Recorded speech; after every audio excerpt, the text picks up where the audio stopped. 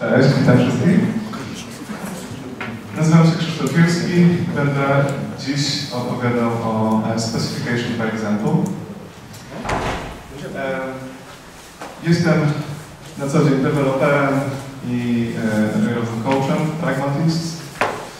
E, Od niedawna też jestem właścicielem agileLearning.pl, gdzie sprzedaję ciekawe learningi, między innymi też z tego, z tego tematu, czyli Specification by Example. E,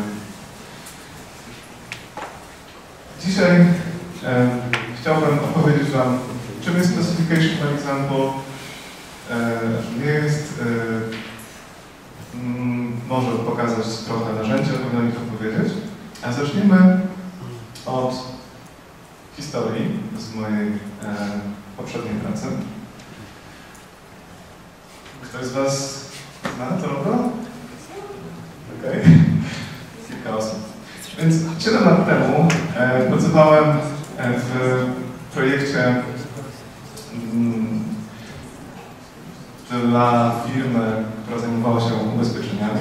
Projekt to był taki rich client, w którym e, chodziło przede wszystkim o to, żeby zebrać dużo danych od potencjalnego ubezpieczonego i później system jakoś się tam sobie przetwarzał, ale to co robiliśmy to było głównie takie właśnie zbieractwo danych. Eee, tak. No i pisaliśmy to w dotnecie.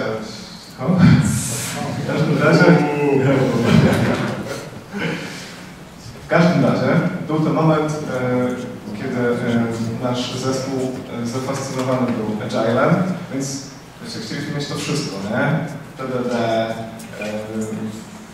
właśnie testy akceptacyjne, automatyczne, wszystko co było możliwe w e, Agile, znaczy wydawało, że jest Agile, chcieliśmy mieć w naszym projekcie. Więc również pisaliśmy e, to, co nazywaliśmy wówczas tak, testami akceptacyjnymi, czyli testy uruchamiane, uruchamiane przez fitness i testujące e, system z perspektywy użytkowników. Rzeczywistość wyglądała tak, że te testy stworzyliśmy sami w naszym zespole deweloperskim. Eee, one rzeczywiście były dość fajne. Eee, I to, co udało nam się uzyskać w pewnym momencie, to było coś takiego, że dało się wykonać te testy eee, pod warstwą GUI, to znaczy, że nie, nie startowała faktycznie aplikacja, nie, wykazywało się okienka, była testowana jakaś, jakaś jej logika. Natomiast, żeby zwiększyć buy-in od klienta, em, to zrobiliśmy coś takiego fajnego, że można było przełączyć jakimś tam stryczkiem i te testy uruchamiały się przez GUI. nie? E, To miało taki ciekawy efekt, że klient, mogliśmy pokazać klientowi taki film, tak, z jego aplikacji. Oczywiście troszkę spowolniony względem tego, jak to robot sam robił. No i klient mógł popatrzeć, no, no rzeczywiście ta aplikacja jest nieźle przetestowana. Widzę, że tutaj ekrany nam migają, te różne funkcjonalności, e, które, e, które zamawialiśmy są, e, są pokryte testami. No to rzeczywiście, to rzeczywiście klientowi się podobało i było wystarczającą motywacją do tego, żeby przeznaczać na automatyzację testów, nie wiem, może z jedną trzecią tak, naszego wysiłku deweloperskiego. Natomiast taki ciekawy moment, który, o którym właśnie chciałam powiedzieć, w w takiej chwili, kiedy e, przygotowywaliśmy się do e, implementacji nowej funkcjonalności. Mieliśmy zaplanowane spotkanie z klientem. Patrzyliśmy taki pomysł. Ej, a może pokażmy naszemu klientowi ten test, czy jak wyglądałby ten test e, akceptacyjny jeszcze przed implementacją. Em, No i napisaliśmy. Napisaliśmy kawałek testu, tak jak zrozumieliśmy wymagania klienta. Poszliśmy na spotkanie. Na tym spotkaniu pokazaliśmy im właśnie fitnessowe wiki, e, gdzie mogli e, zobaczyć o co chodzi. Okazało się, że klient zrozumiał e, ten, ten test, był w stanie odpowiedzieć na nasze pytania i wyjaśnić, co, wyjaśnić nasze, rozwiać nasze wątpliwości. Te doświadczenie pokazało nam, że współpraca, współpraca z klientem jest czymś najistotniejszym przy korzystaniu z jak chcecie to nazywać, tak? Specification example, testów akceptacyjnych czy, czy BDD. Bo to rzeczywiście było coś nowego, tak? Że, tak, że zrobiliśmy to przed implementacją, że dowiedzieliśmy się czegoś, uniknęliśmy potencjalnych przeróbek itd. Tak Chciałbym, żeby też to było takim motywem przewodnim tej mojej prezentacji, czyli to, że największy, największy zysk ze Specification Example jest właśnie w tym, jak wpływa, ta, wpływa ten, ten proces, te techniki na współpracę z przedstawicielami biznesu, z, z szeroko pojętym klientem. Na jakie wyzwania odpowiada Specification by Example? Jakich, jakich rozwiązań, jakich problemów tak, możecie się spodziewać przy stosowaniu tego podejścia? No jednym z problemów, które można spotkać, to są opasłe, nieprzebrane tomy specyfikacji, tak, która powstaje e, na przykład wcześniej, tak, przed, przed projektem, rośnie nam, e, trudna jest do utrzymania, przestaje być aktualna i tak. E, problem jakości, tak po prostu, tak, e, jakości rozumianej jako e, brak efektów, widzianych przez, przez, przez użytkowników naszego programowania. Kolejna rzecz to przeróbki, czyli sytuacje, kiedy tworzymy oprogramowanie, po czym okazuje się, że trzeba je zrobić jeszcze raz, bo, no bo różne mogą być przyczyny, tak? Być może nie zrozumieliśmy wymagań klienta, no dobrze je zrozumieliśmy, tylko te wymagania nie rozwiązywały problemu tak naprawdę, albo były niepełne, niekompletne, przez co nie, nie, nie, nie, nie były skuteczne. Kwestia braku, braku wspólnego kierunku. Tak? Wyzwaniem może być to, żeby e, wszyscy pracujący nad dostarczeniem oprogramowania widzieli jasno cel, co, co, co chcą osiągnąć, jaki problem mm, biznesowy, jaki problem użytkowników chcą zrealizować. No i żeby w tym celu zmierzali. Tak? W sytuacji, kiedy mm, te cele nie są znane wszystkim, no cóż, no, może, może to być mało, mało skuteczne. I problem dokumentacji, czyli e, do tego, że jest jej dużo, tak?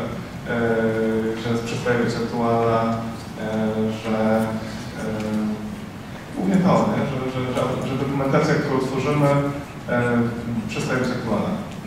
Odpowiedzią na te wyzwania jest e, specification by example, e, czyli, czyli możemy się spodziewać właśnie takich, takich korzyści, tak, że będziemy pracować nad właściwą rzeczą, rozwiązywać właściwe problemy, tak, właściwe z punktu widzenia e, biznesu naszych, naszych klientów, że to może nam wytworzyć wspólne rozumienie wymagań, wspólne rozumienie celu w zespole E, to, że damy jakąś miarę ukończenia, tak, czyli że będziemy w stanie powiedzieć, kiedy skończyliśmy pracę nad danym wymaganiem, danym featurem e, i że będzie precyzyjny. Znaczy, że specyfikacja, którą e, będziemy tworzyć w ramach Specification by Example, nie będzie pozostawiała wątpliwości, tak, co, jak ma działać. A poza tym dostaniemy dokumentację, która jest zawsze aktualna. To są korzyści, które można, można oczekiwać. Specification by example samo w sobie jest zestawem pewnych praktyk, e, pewnych mm, process patterns, tak, jakichś wzorców e, procesowych, które można wpasować w różne procesy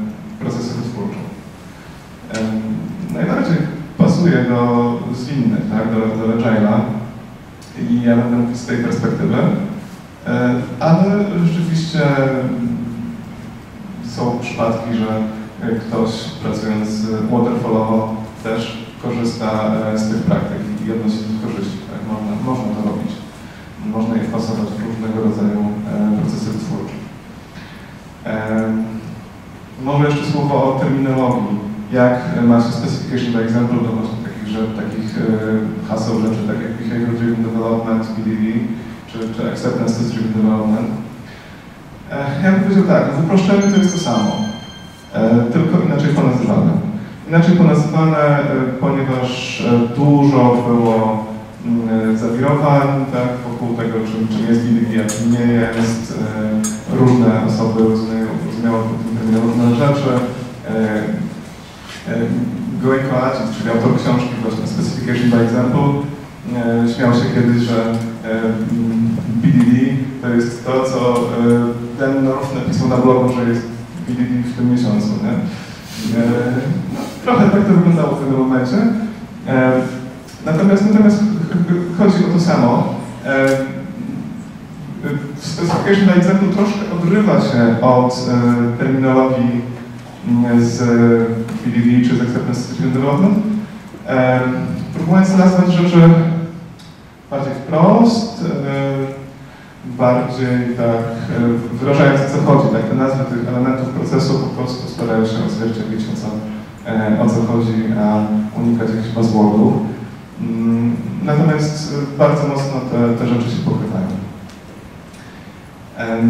To, co widzicie, to taki overview tak, całego, całego tego procesu, jak, jak pracujemy z wymaganiami w specification by example. Zdarzyłem Wam to z, z książki, do niej tutaj będę się głównie odwoływał. Tak jak mogę grać w tym momencie. Przejdziemy sobie przez, przez te poszczególne elementy. Będę chciał pokazać właśnie, jak ten aspekt współpracy działa w, w różnych, różnych momentach tego procesu. I, no i co robimy, tak? Co się, co się dzieje, co, jak to wytwarzamy, tak? Jak, jak, jak, jak zamieniamy wymagania na działający produkt. Pierwszy element to z, z celu biznesowego dojście do zakresu tego, co chcemy wytworzyć. Produktu, wydania produktu, e, iteracji. E, to, co jest istotne w tym, na tym etapie, e, to to, że bardzo, bardzo warto, żeby tę, tę pracę wykonywał cały zespół wytwórczy. Tak, żeby cały zespół wytwórczy zastanawiał się, jak, jakim zakresem, jaką funkcjonalnością można zrealizować cele biznesowe. Fajnym przykładem tutaj jest case myśliwca F-16.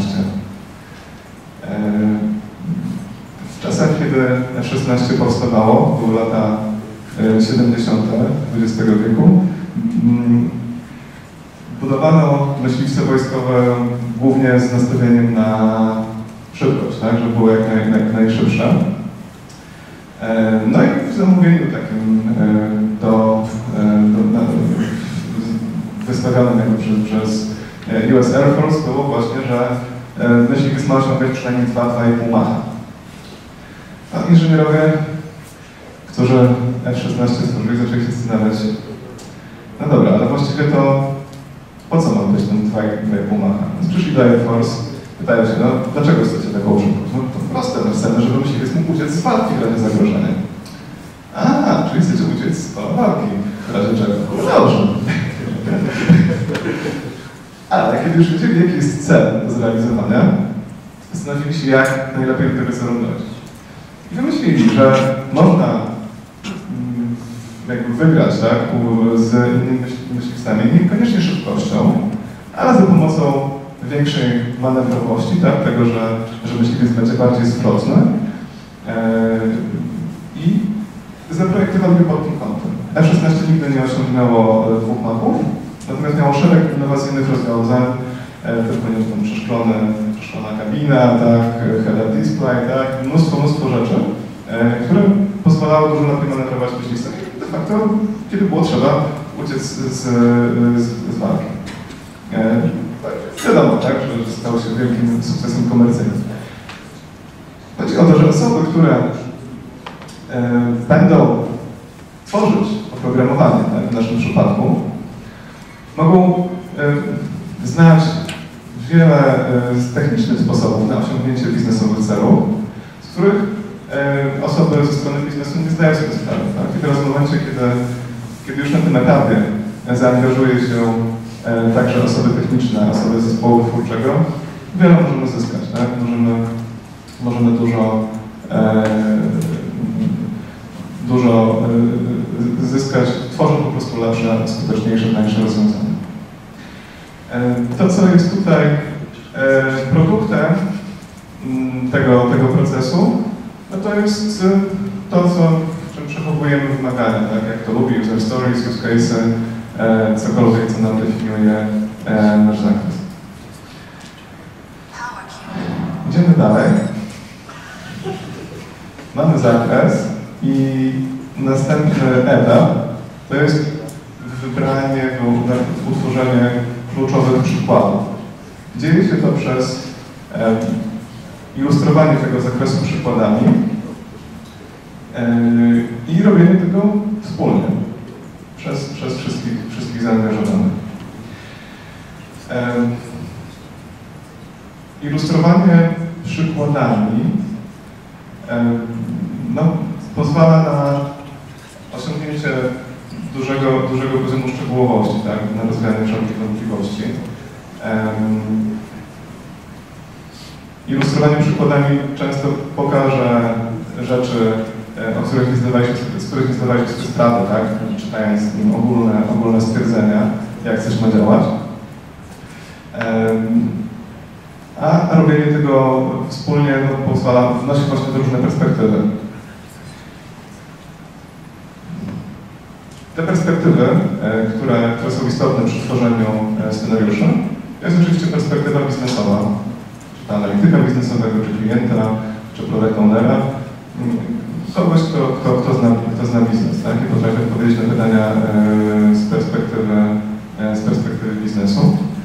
Perspektywa testera, czyli kogoś, kto jest w stanie wymyślić te wszystkie pewne przypadki szczególne, zadać kłopotliwe pytania, co będzie, jeśli to nie zadziała.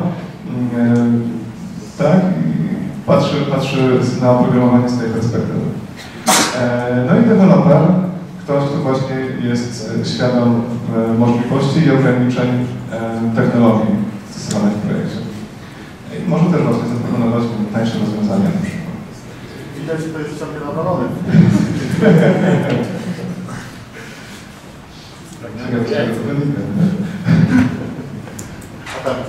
Ja myślę, że to wynika z konieczności współpracy z deweloperami i testerami po prostu. Teraz to, co jest fajne w tym podejściu, to zobaczcie, że jesteśmy na początku procesu wytwórczego. Angażujemy wszystkich, którzy, mm, którzy będą nad tym oprogramowaniem pracować. E, no i mamy możliwość tak naprawdę pointeresowania sobie tutaj trochę na, na, na tych tworzeniu przykładów. To najczęściej tak jest, tak, że nie, nie, nie dojdziemy e, do, do, do, do jakiejś pełnej wersji tej specyfikacji, która nas interesuje na jednym e, spotkaniu. Albo nawet jak robimy na jednym, tak, to może danej specyfikacji powstać wiele wersji, możemy sobie tu poiterować. To, co jest fajne, to jest to, że to iterowanie w tym momencie jest bardzo tanie bo specyfikacja, te przykłady najczęściej będą po prostu jakieś pliki tekstowe albo tekst na, na whiteboardzie, tak? To są, to są rzeczy, gdzie iterowanie jest tanie, szybkie, możemy to zetrzeć, napisać jeszcze raz. Nie, nie iterujemy całym programowaniem, tak? W związku z tym możemy, możemy szybko wyjaśnić jakieś rzeczy, znaleźć efekty nawet, tak? Czy znaleźć jakieś luki w, w wymaganiach już, już na tym etapie.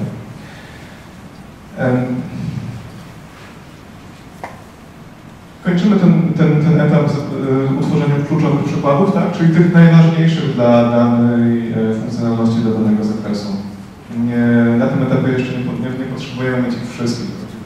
To może można nie będzie potrzebować mieć ich wszystkich, tak? E, chodzi o to, że nie rozpisujemy tam wszystkich warunków, nie wiem, urzędowych, i tak dalej. Jeszcze, jeszcze nie jest na to czas. Jak, jak to robić? Jak właśnie pracować tak już faktycznie tak w projektach mm, w ten sposób nad, nad specyfikacją? Na początku dobrym pomysłem jest, żeby cały zespół w tym uczestniczył. Wszystkie, wszystkie osoby.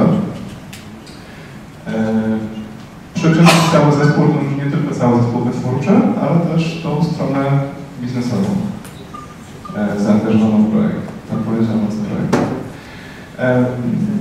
E, e, no dalej fajnym rozwiązaniem jest już nie angażowanie całego zespołu, bo jednak jest to kosztowne, e, a w momencie, kiedy zespół nabierze pewnej wprawy już e, raczej niekonieczne, tylko zainteresowany, tak?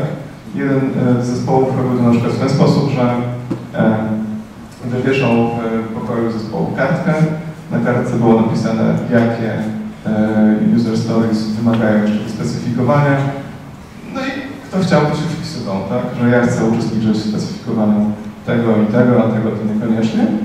No i jak tam no, zebrały się potem 3-4 osoby, tak, to, to były zwoływane te warsztaty i, e, i specyfi- dane historyjki były specyfikowane. E, oczywiście warto robić e, takie warsztaty z wyprzedzeniem.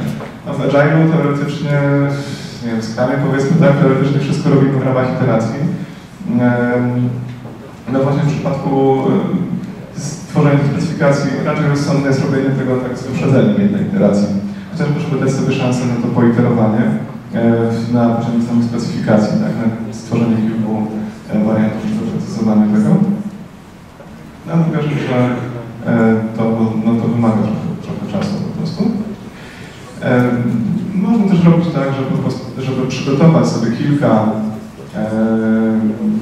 scenariuszy i, i po prostu i w przypadku, kiedy biznes jest trudno dostępny, tak, osoby biznesowe są trudno dostępne, to są, e, no miałem kilka razy takie sytuacje, tak, że osoba biznesowa nie miała wystarczająco dużo czasu dla zespołu, żeby uczestniczyć e, często w, w takich warsztatach. Więc wyglądało tak, że zespół przygotowywał propozycje, scenariusze, po czym spotykał się z biznesem, biznes tylko je przeglądał i zatwierdzał, odrzucał. E, Swoją drogą fajnym zaskoczeniem kiedyś było dla nas, jak właśnie przygotowaliśmy scenariusze na podstawie e, wymagań, e, po czym przedstawiliśmy product ownerowi, a product owner powiedział to tak, to tak, to tak, to nie, to nie, to nie, to nie. Okazało się, że no, nadinterpretowaliśmy tak, wymagania i po prostu ileś, nie wiem, połowa skołpu po prostu była wyrzucona, tak? Mm, Jeszcze przed rozpoczęciem który wydawał się taki ważny i e, potrzebny. E, to jest jedna z największych korzyści, tak? którą, którą można odnieść, że, że nie robimy tego, co jest, co jest niepotrzebne. E, no dobrze, idźmy dalej. Mamy te kluczowe, zidentyfikowane kluczowe przykłady, czyli mamy za pomocą przykładów e, zapisane, jak dana funkcjonalność ma działać. E, to, co robimy dalej, to dopracowywanie tych przykładów tak, aby były kompletne, aby były łatwe w automatyzacji. Jak taka, takie dopracowywanie może wyglądać? To jest przykład przykładu. Czym są, czym są przykłady? No, w tych technikach typu Behavior Driven Development czy Acceptance Driven Development, tak, mówiło się nie tyle o, o przykładach, tylko o testach. Um, no i um, jak ko, komuś z Was jest wygodniej, tak, możecie tak o tym myśleć, tak, możecie myśleć o tym jako, jako o teście. A są generalnie dwie, strony, tak, tego samego medalu, specyfikacja test tak? Bo z jednej strony mówimy, jak coś ma działać, z drugiej strony sprawdzamy, czy to rzeczywiście tak działa. E, czyli powiedzmy, że taka specyfikacja z włączonymi sprawdzeniami, tak, już staje się testem, no a jednocześnie właśnie jest konkretnym przykładem, jak system ma się zachować w, w danej sytuacji. E, tutaj mamy scenariusz zapisany e, w e, języku Gherkin, czyli w języku, którego używa e, Cucumber chyba najpopularniejsze narzędzie, tak, e, stosowane w Specification Example, będę jeszcze o nim trochę mówił. E, I to, co jest fajne w tym przykładzie, to jest to, że on jest zarówno zrozumiały dla biznesu, no bo jest w języku naturalnym, e, jest po polsku, może być w wielu innych językach naturalnych, a jednocześnie jest możliwy do zautomatyzowania, tak? Czyli jest y, oparty o y, prostą, ale jakby pełną, kompletną gramatykę. To znaczy, że jest możliwe do, do sparsowania i zinterpretowania i na podstawie takiego scenariusza możemy e, wywoływać kod. Tak? Mam pytanie. Od swoich doświadczeń z Cucumber. Ponieważ e, e, te testy, jeśli są scenariusze, jeśli nawet są opisane przez e, biznes, to tak czy inaczej czeka Cię pewna praca na tym, żeby e, to zakumał. Żeby to przetłumaczyć na to. Teraz jaki jest z tego zysk w stosunku na przykład do przepisania wymagań w postaci testów z spokój czy w jakimś innym frameworku? W sensie, co z tego, że biznes to tak napisał, skoro biznes nie refaktoruje tych plików, krótko rzecz biorąc, tylko mówi Ci, tak, teraz to wymaganie odpada. No to możesz skasować test w tym momencie i wywalić na przykład kod, cokolwiek innego. Ale jaki jest zysk z Cucumbera, bo ja widzę. Jaki jest zysk z Cucumbera? kiedy- Z automatyzacji odpalania tekstów w języku naturalnym. Mhm. E, Kiedy, kiedy e, klient tak naprawdę nie angażuje się w jego utrzymywanie później. Tak? A angażuje się u Ciebie w utrzymanie, robi refaktoring na Nie, dysku. klient sam nigdy tego nie zrobi. No więc właśnie. Moje doświadczenie jest takie, że zdecydowanie zespół e, musi nad tym pracować. Zysk się pokaże, myślę, że na końcu tego procesu, czyli na etapie tej żywej, specyfika żywej specyfikacji, żywej, żywej dokumentacji. Tak? Kiedy masz dokumentację uruchomioną względem prawdziwego systemu, No. a jednocześnie kompletną i opisującą e, Tak, całość systemu. To samo będziesz miał, jeśli weźmiesz spoka, przepiszesz to jako nazwę testu, testu spokowego z, z werami czy cokolwiek jeszcze potrzebujesz i wydrukujesz im to, co powiedział system, tak? Czyli to, co po uruchomieniu powiedział system. Popatrzą na zielono, co się udało, co się nie udało, więc po co tu cucumber? Bo to jest kolejna warstwa. Jakiekolwiek narzędzie. Jeżeli Czy cucumber ma jakieś zalety według Ciebie wobec tego? czy Cucumber ma zalety względem spoka. E, Potrzebujemy jakiegokolwiek narzędzia, które da nam dwie rzeczy. Z jednej strony zrozumiałość testów, czy specyfikacji, czy przykładów dla biznesu, a z drugiej strony możliwość automatyzacji. Jeżeli Spock to daje, nie ma problemu. Tak? Cucumber jest jednym z narzędzi. E, można użyć e, Finessa, jeśli ktoś jeszcze lubi to rozwiązanie. E, można użyć tam Concordiona. E, no pewnie jeszcze parę by się znalazło rzeczy, tak? Można użyć Tumblera. E, no, chodzi tylko o te dwie rzeczy. Tak? Jeżeli Spock to zapewnia, fair enough, tak? Można, być może wystarczy. To jest bliżej do programisty po prostu, tak? Tak, tak, tak. No może i- tak, tak. Jest tak, że niektóre zespoły rezygnują z tego etapu, czyli rezygnują z tej czytelności dla klienta. Tak? Ale można nie czytać. Jak możemy czytać? Można ją przetłumaczyć jako komentarz nad testem albo jako nazwę testu, albo można trzymać autowykonujący się test jak zmienić coś tutaj, taka była jakby wydaje mi się idea Cucumbera, że biznes może to zmodyfikować i zobaczyć, czy to nadal działa. Tylko nigdy nie widziałem biznesu, który by to modyfikował. No, czy, biznes modyfikuje testy Cucumbera? No, no sam nie, sam, sam raczej nie. Mm, Też mi się nie wydaje to pra- prawdopodobne. Raczej to trzeba wypracowywać e, wspólnie, tak? Czyli przedstawiciele zespołu wytwor- wytwórczego razem z biznesem. Natomiast chodzi o to, żeby to było możliwe do przeczytania i zrozumienia szybko tak, przez, przez innych połowich języków. Hej, jakby biznes rozumiał testy GUID-owe, to enough, tak? Nie mam nic przeciwko. Jeżeli są w stanie na ich podstawie tak zrozumieć, jak, jak zostało zaimplementowane zrozumiane wymagania. Em, Też istotne przy tworzeniu tych naszych przykładów, to to, żeby były specyfikacją, a nie skryptem. E, Co mam na myśli? Dobra, zobaczmy jak wygląda skrypt. Skrypt wygląda tak. E, Ci z którzy mm, próbowali cokolwiek kiedykolwiek automatyzować w projektach, e, na pewno widzieli takie testy, tak? Czy to w Cucumberze, czy to, nie wiem, w Selenium, czy w czymkolwiek innym. Kto widział takie skrypty? No właśnie, nie? są. Są w przyrodzie. E, Co z tym skryptem jest nie tak? Czy z tym nim- co z nim jest nie tak? Otóż E, problem polega na tym, że nazwa scenariusza mówi nam wypłata przy braku środków. Tak, nie ma środków na koncie, nie mogę, nie mogę e, wypłacić pieniędzy z automatu. I w tym scenariuszu mam mnóstwo szczegółów, które nie dotyczą bezpośrednio tej funkcjonalności. Mam numer konta, mam PIN, e, tak? tego, tego typu rzeczy. One są istotne, żeby ten scenariusz się odbył, żeby on przebiegł. One są potrzebne dla systemu. Musimy nakarmić system tymi danymi, żeby ten scenariusz przebiegł. Ale z punktu widzenia wytłumaczenia, na czym polega ta funkcjonalność wpłata przy braku środków, one nie mają żadnego znaczenia. Dla scenariusza wykłada przy braku środków, środków wystarczy nam tyle szczegółów. Ilość środków na koncie, ile se e, wypłacić i, i co się dzieje, jaki jest efekt. I to wszystko. Czyli w tym etapie e, doprecyzowania specyfikacji, no jedno, jedno z, jeden z elementów to jest właśnie e, poprawianie jej, żeby, żeby była taka, tak, żeby były wszystkie szczegóły istotne dla danego scenariusza.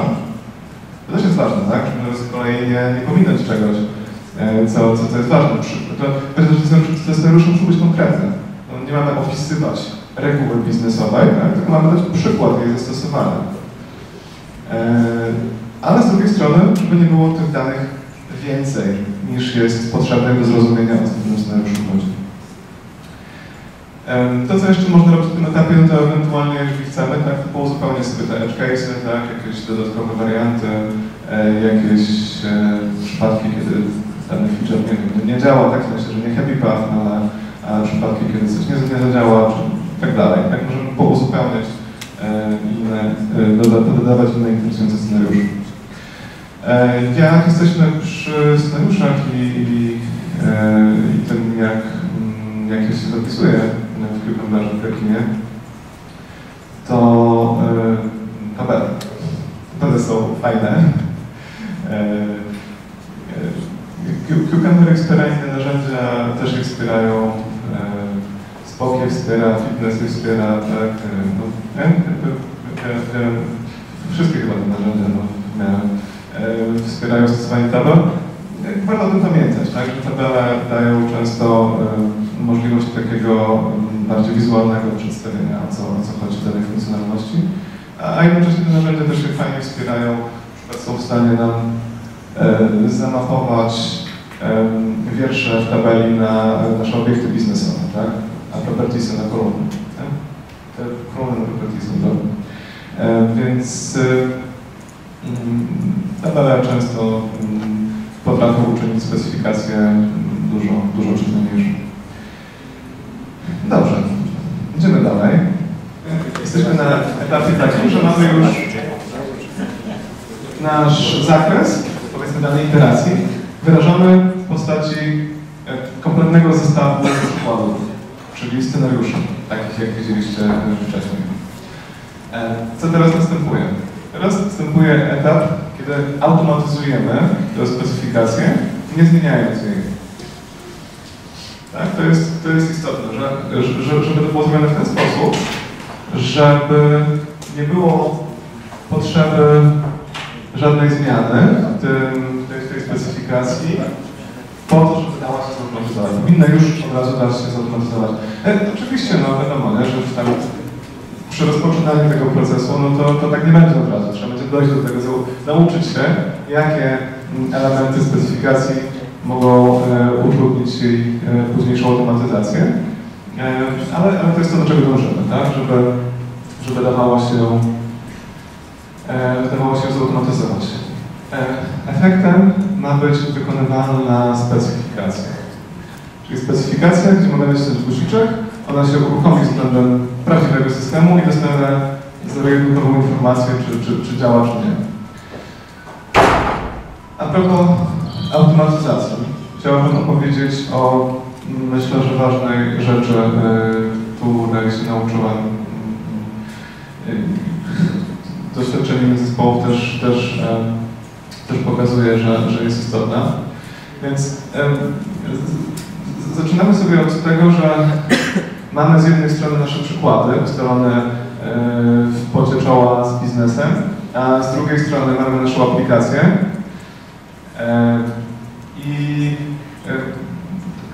Chcemy, chcemy zautomatyzować, tak? Jako, jako e, dzienni deweloperzy. E, Czy testerzy, tak? Testerzy też pewnie dobrze, że wybrali w tym e, udział i dzielili się swoim doświadczeniem. E, To, czego potrzebujemy e, w przypadku chociażby Cucumbera, no, to, są, to jest jakiś kod sklejający jedno z drugim. Tak? No i e, w przypadku Cucumbera to się nazywa definicję kroków. Znaczy do, do każdego e, takiego elementu jednej linijki ze scenariusza e, podpinamy metodę w Javie, tak, czy w innym języku, w którym pracujemy, jedną metodę, która zostanie e, wykonana przy, przy przechodzeniu przez, e, przez ten krok. I takim często popełnianym e, błędem jest to, że w tych definicjach kroków od razu próbujemy rozmawiać z naszym systemem, a jeszcze częściej, że rozmawiamy z nim przez interfejs graficzny użytkownika. To jest pewnie wielu przypadkach najprostsze. Tak? Mamy aplikację webową, to w definicji kroków użyjemy sobie tam e, web driverek i zapukamy do, do naszej aplikacji, coś tam spróbujemy zrobić, sprawdzić. Da się zrobić, na pewno. E, na pewno jest, jest proste. No tylko, że rodzi dwa zasadnicze problemy związane z e, utrzymaniem tych testów. I jeden to jest czas wykonany. Tak, test, który działa na pełnej, na pełnej naszej aplikacji przez interfejs użytkownika, no takie testy będą miały tendencję do tego, żeby działać wolno. A jest bardzo prosta zależność między czasem wykonania testów, a częstotliwością ich uruchamiania. Czym wolniej testy się wykonują, tym rzadziej są uruchamiane. Em, Aż dochodzi do tego momentu, kiedy nie są uruchamiane w ogóle.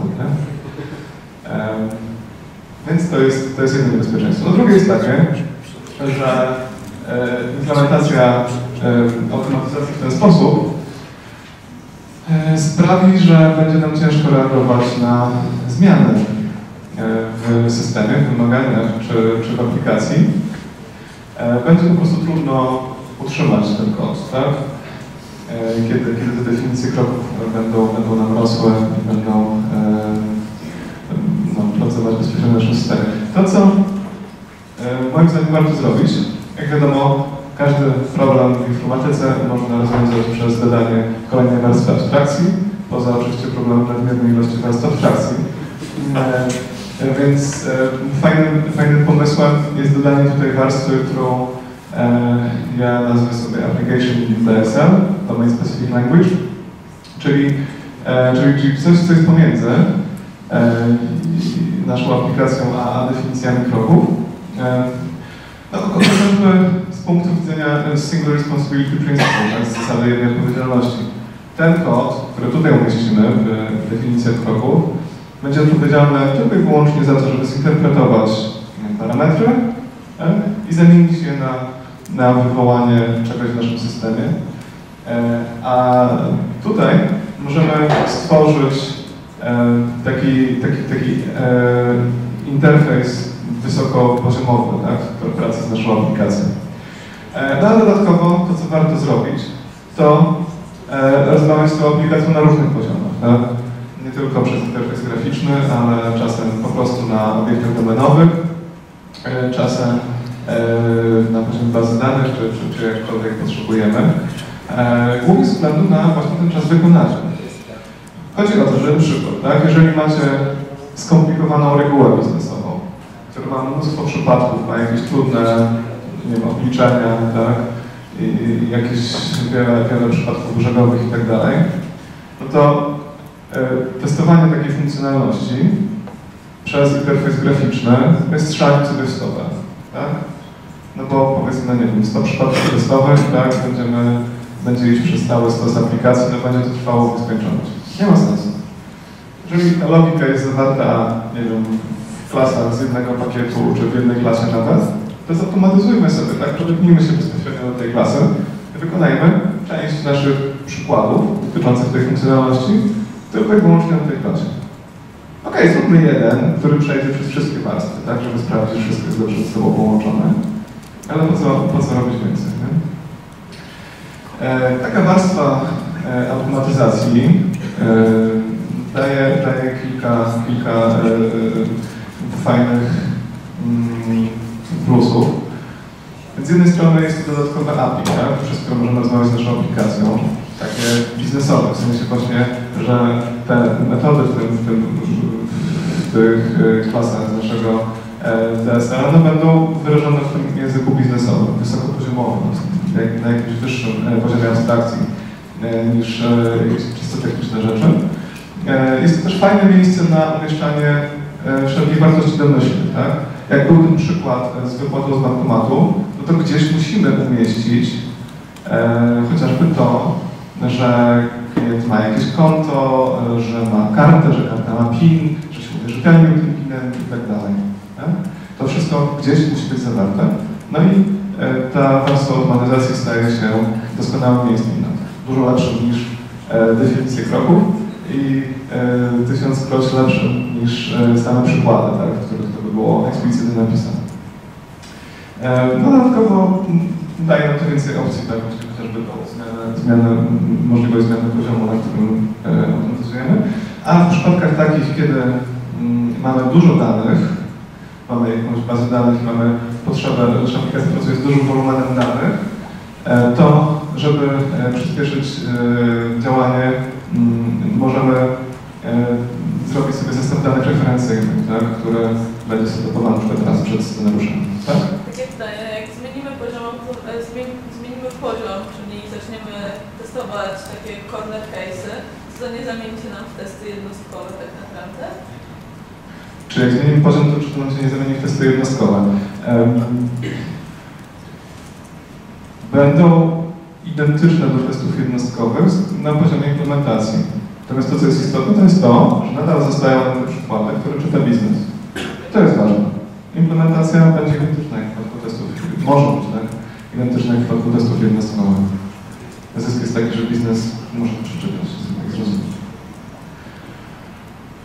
Ok, to e, dochodzimy do, do, do, do końca tych e, etapów e, procesu Specification by Example. Mamy już wykonywaną specyfikację. E, teraz chcielibyśmy mieć coś, co e, Gojko Adzis nazywa Living Documentation, żywa, żyjąca dokumentacja. Co tutaj jest potrzebne? No, mamy dwa paterny. E, validate e, frequently, czyli częste sprawdzanie, że nasza specyfikacja, że nasz system nadal spełnia tą specyfikację. E, tu nie będę o tym dużo mówił. No, generalnie chodzi o to, żeby testy były wykonywane, e, pewnie jakiś system ciągłej integracji, tak, żeby, żeby te testy wykonywał i żeby wykonywało się właśnie dość szybko. Nie? To, to, to jest tutaj istotne. No, chodzi o to, żeby faktycznie wiedzieć, że te sprawdzenia, które tam są opisane, są wykonywane i, system spełnia. No a druga rzecz to jest tworzenie e, systemu dokumentacji w taki sposób ewolucyjny. E, na tym chciałbym się chwilę zatrzymać, jak to może wyglądać, co jest istotne. E, czego oczekujemy od e, dokumentacji? A fajnie, żeby dokumentacja miała jakąś strukturę, żebym był w stanie szybko znaleźć w niej to, o co chodzi. Jeżeli ja sam potrzebuję odpowiedzieć sobie na pytanie, jak działa dana funkcjonalność, czy jak, e, czy, czy, czy, czy biznes mi zadaje takie pytanie, to jestem w stanie szybko po tej e, dokumentacji e, nawigować tak, i, i ją znaleźć.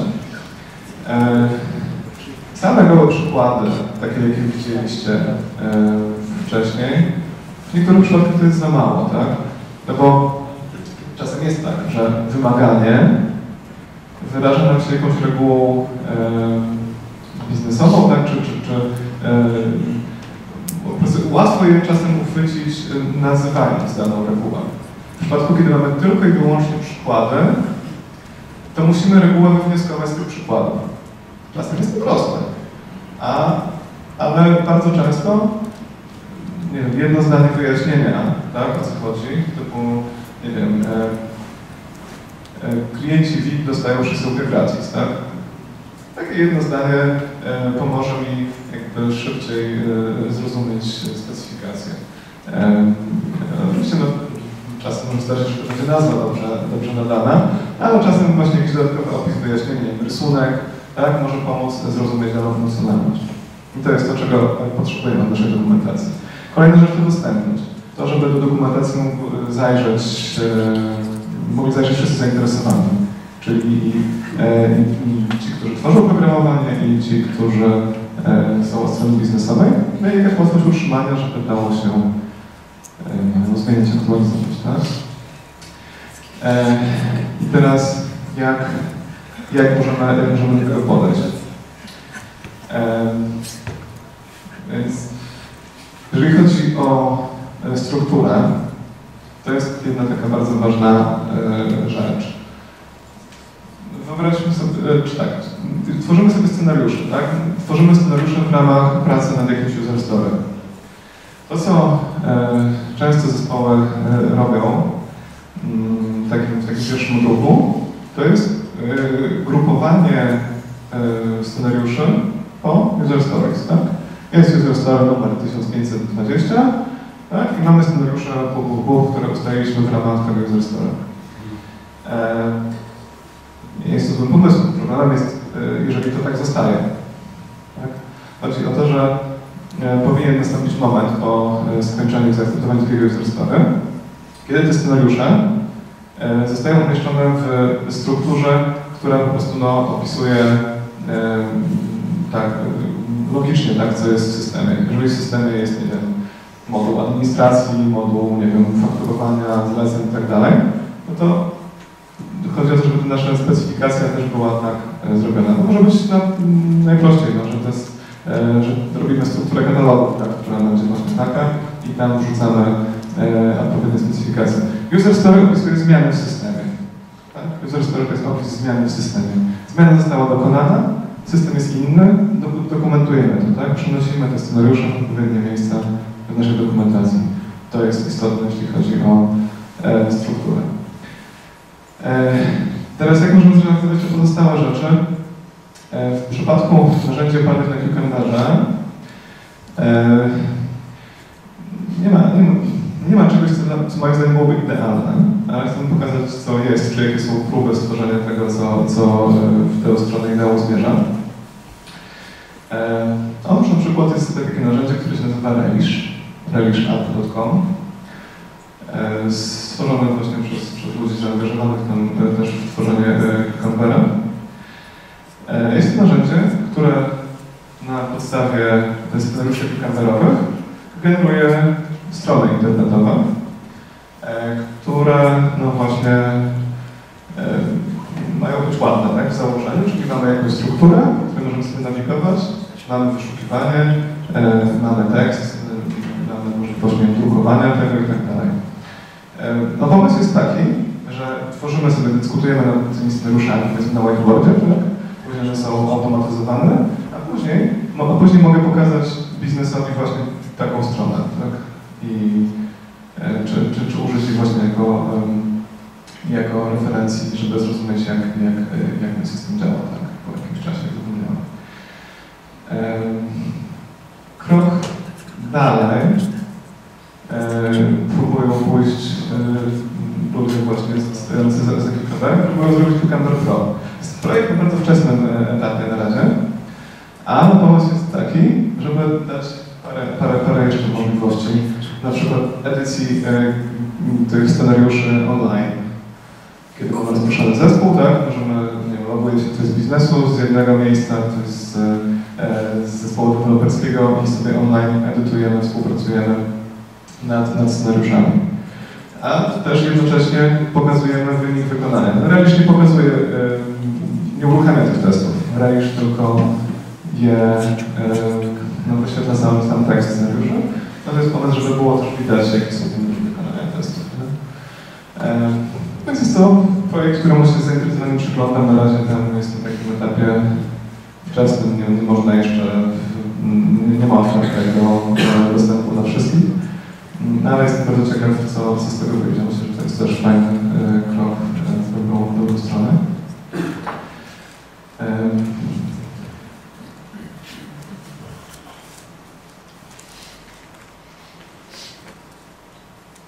Mam nadzieję, że jeszcze parę minut, e, to, to jeszcze wam chcę, po, pokażę, co można z pomocą tych narzędzi zrobić.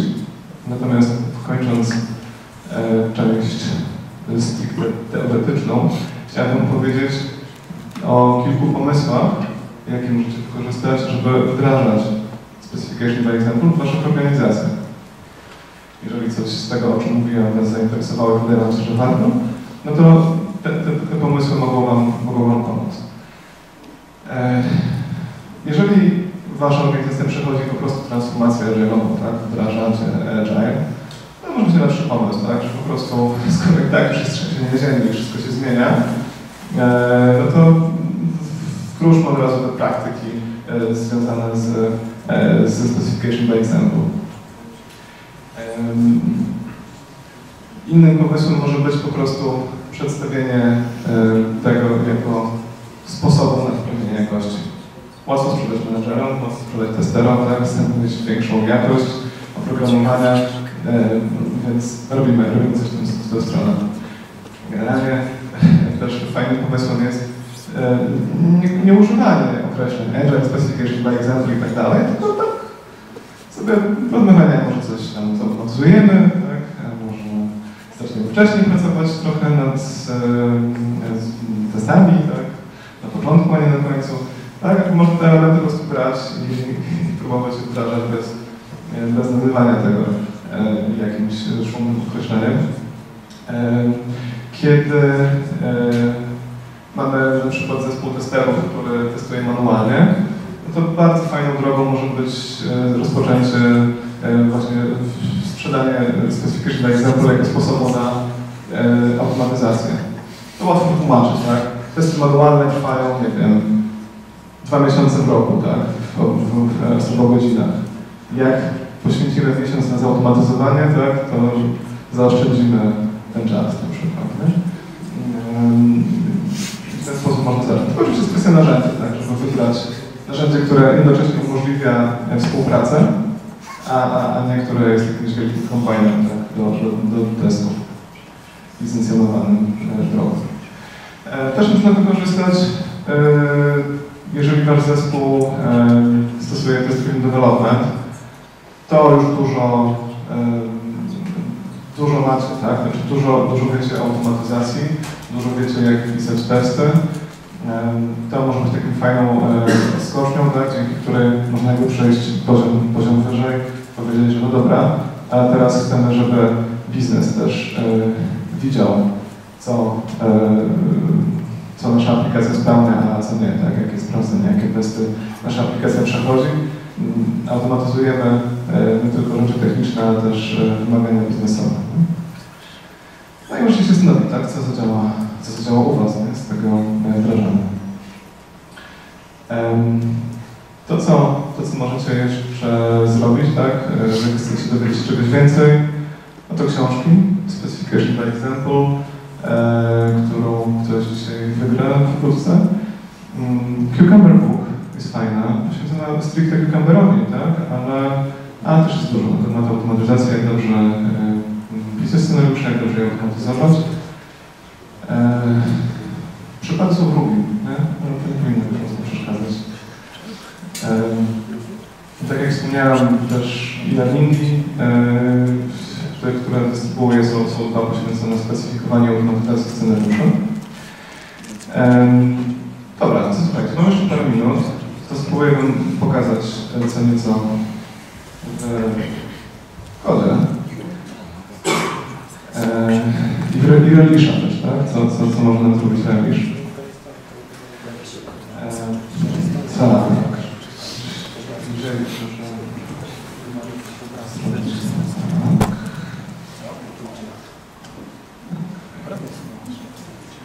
Czarnego? Tylko widać tak.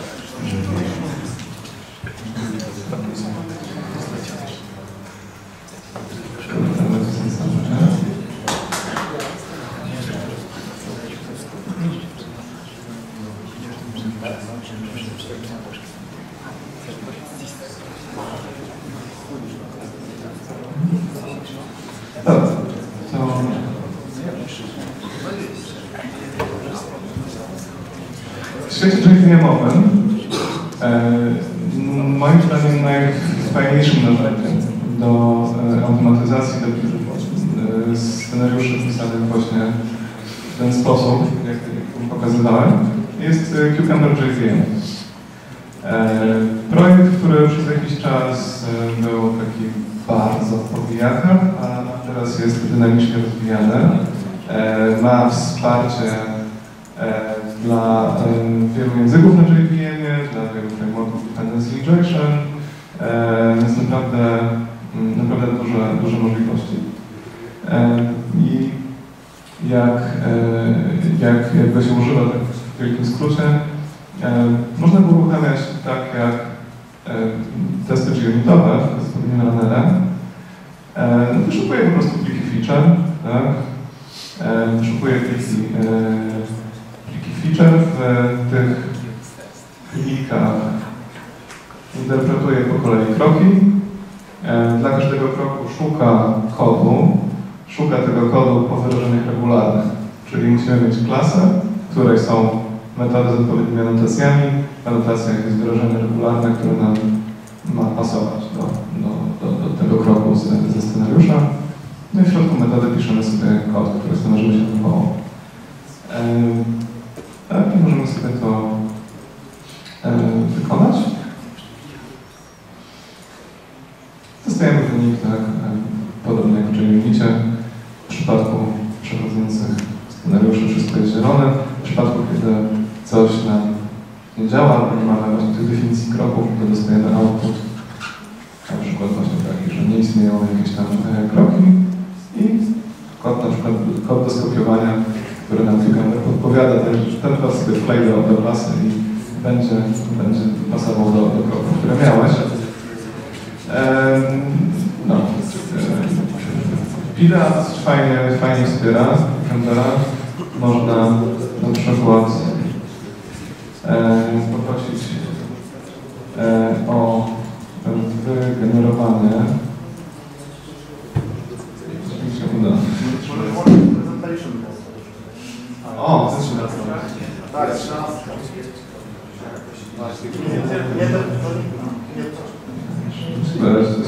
jest, dobrze. Presentation mode. Nie masz skrótu.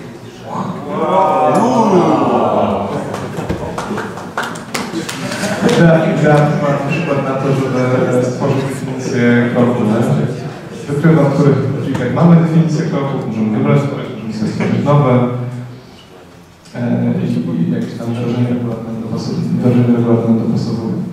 E, tak. No ja tu robiłem coś takiego, jak, jak Wam mówiłem, tak? czyli że mamy sobie e, warstwę troszkę, na razie jest jedną klasą, e, która się pośredniczy nam mm, pomiędzy krokami a, e, a mm, naszym systemem. No i na razie to wygląda podobnie jak e, testy jednostkowe, tak? pracujemy sobie na, na naszych obiektach. Em, To, co jeszcze bym Wam chciał pokazać, e, co może nam zrobić, e, jak możemy wykorzystać Relisha. Otóż Relish pozwala na przykład na to, żeby umieścić sobie e, plik readme.md z jakimś katalogu. No i ten plik będzie przez Relisha zautomatyzowany. Tak jak widzicie mam plik MD, gdzie mam jakieś formatowanie i mam jakiś obrazek. Nie? Teraz, teraz jak e, wrzucę go sobie do, e, do Relisha, to o, w sumie to jest to samo co miałem. taki jest efekt, tak? Sformatowany tekst, mam ten obrazek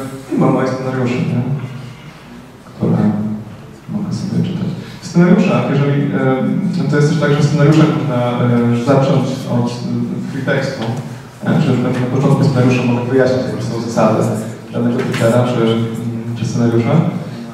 No to też markup będzie, znaczy markdown będzie interpretowany, tak? Mogą być jakieś ładne kolory.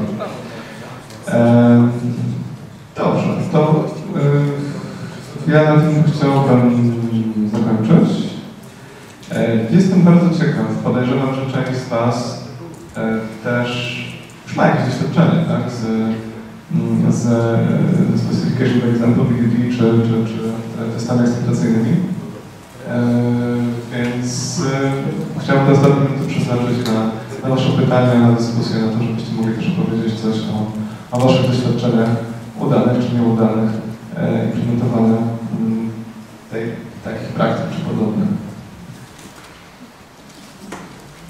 W poprzedniej robocie mieliśmy naprawdę taki zespół, jak ktoś rzucił temat BDD. Robimy BDD.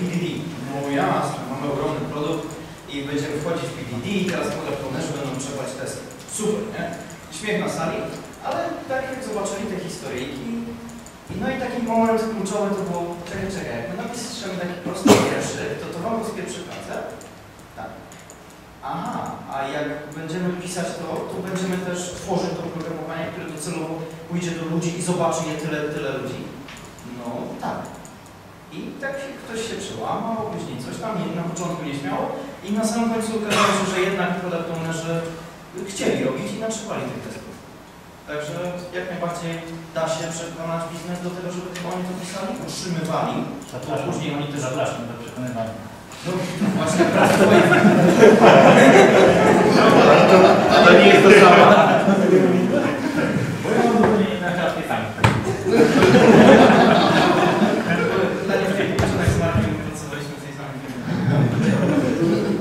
Czy mam pozytywne doświadczenie i mówisz, że przełomowy moment był, kiedy zobaczyłeś, że to faktycznie się uruchamia względem prawdziwego systemu. I tak, i kiedy mogą popsuć pracę dewelopera.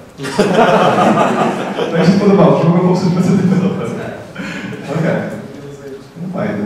I się przyjęło i naprawdę zaczęło być. Mhm. A automatyz- automatyzowaliście przez, przez e, GUI, czy, e, czy jakoś Nie, inaczej? nie. Nie. No w filmikach tekstowych po prostu pisali, nawet udało się ich przekonać do jakiejś apki, tam source tree czy co, coś tam i komitowali do Gita te swoje Mhm. te historyjki i naprawdę poszło.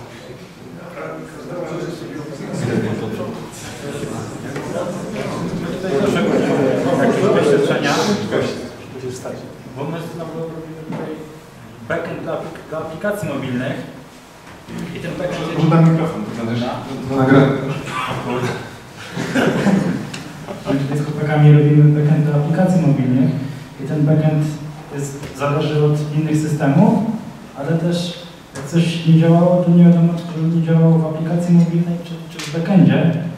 Czyli napisaliśmy, napisaliśmy tutaj rękoma kolegi, e, napisaliśmy takie coś, ale takie te testy właśnie, które mają swój powiedzmy język, całkiem przystępny, całkiem ładne scenariusze, strzelamy, przechodzimy ścieżki krytyczne, strzelamy po naszych endpointach e, backendowych i wiemy w 100%, że, że nasz backend działa dobrze. Jak coś nie działa, to albo, albo się sypie w całym ekosystemie, albo chłopaki od komórek źle korzystają z tego. Czyli nasza wina, tak?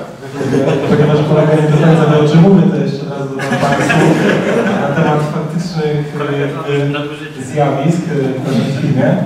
E, Spock i Groovy świetnie się nadaje do robienia specification by example. Napisaliśmy własnego DSL-a, który był na prezentacji ten e, taki moment, gdzie em, mamy tą taką warstwę pośrednią. To my użyliśmy tutaj właśnie Grooviego do tego, żeby tą warstwę pośrednią zbudować.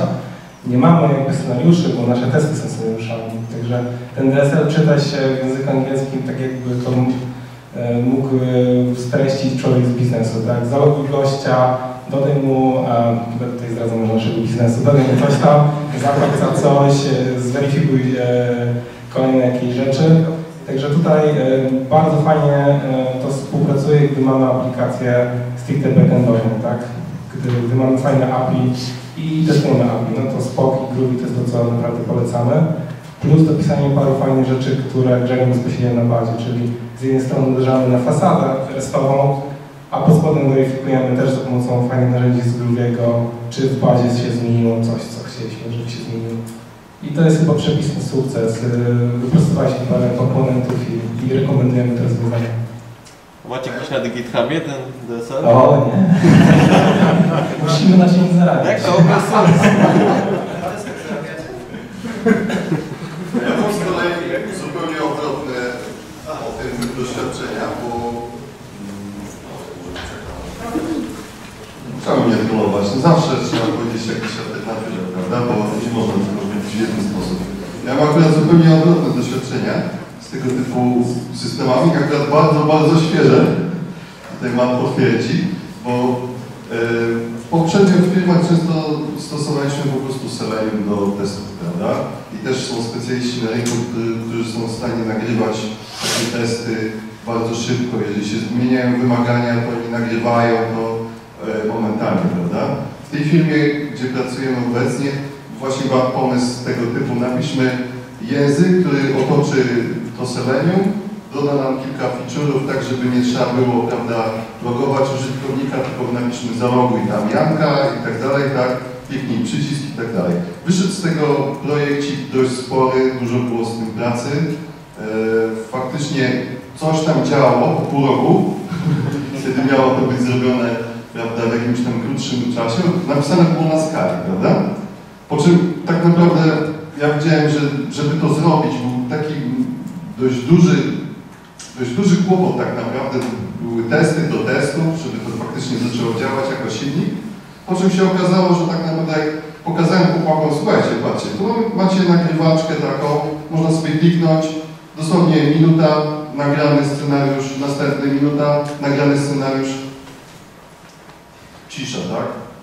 Także to jest fajne, trzeba uważać, prawda, nie przesadzać, bo oczywiście jest to fajne, można stosować, ale też warto na pewno używać gotowych rzeczy, tak jak to było pokazane i warto też nie przesadzać.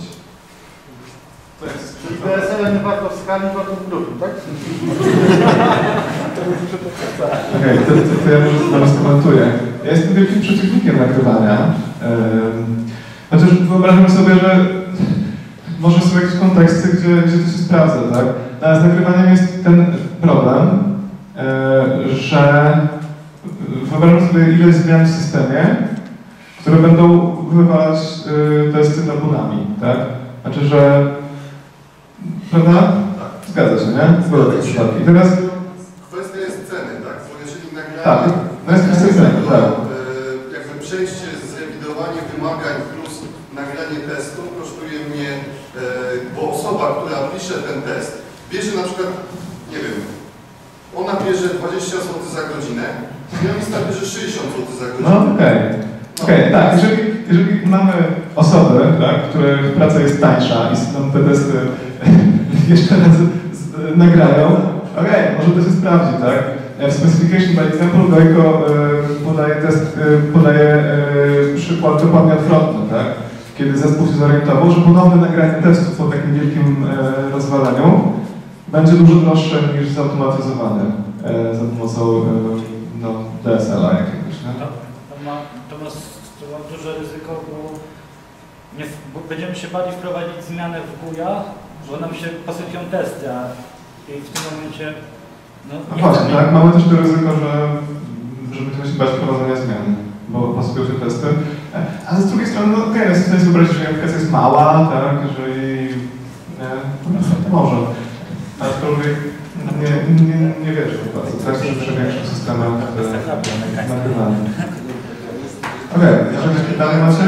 Dość duże, także to mówię, to należy wy- wybadać. Na pewno jakiś tam kod można napisać do tego, wykorzystać, szczególnie wykorzystać, ale naprawdę to się sprawdza przy, nawet przy dużych systemach, bo właśnie koszt, tak? Koszt Okej. tego często nagrania jeszcze ponownego jest dużo, dużo mniejszy niż koszt napisania. Jasne, nie? to jest trade-off, tak? Zawsze można sobie rozważyć, co, co będzie tańsze, czy nagranie, czy, czy odpisanie. Aczkolwiek w tym przykładzie mnie bardzo zastanawia, dlaczego e, te mm, warstwa automatyzacji była stworzona przez pół roku i dopiero po roku był jakiś efekt. Ja pracowałem z zespołem w zeszłym roku, e, w którym nie było żadnych e, testów taką pierwszą wersję, która przekonała zespół, że warto coś zrobić i przekonała testerów, że warto w tą stronę iść, no to nam zajęło nie wiem, 2-3 dni.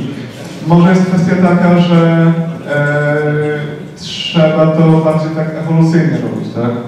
Czyli nawet niech będzie tak, że najpierw napiszę sobie kod w, w definicji kroku, a później go zrefaktoryzuję i przyniosę nowy plaż. E, i, I tak po kawałku, po kawałku to tutaj wchodzi. wpisany cały silnik, prawda? Cały ten No, to jest problem. Może to jest proces, tak? No, to jest sensu, prawda? No właśnie. Cały się w skali. Tłumaczenie e, Selenium na język polski. Okej. Dobra. E, czy macie jeszcze jakieś pytania e, albo swoje historie? E, podzielenie się? Okej, okay, nasza część historii pytań na piwie. Czoło, dziękuję Wam bardzo serdecznie.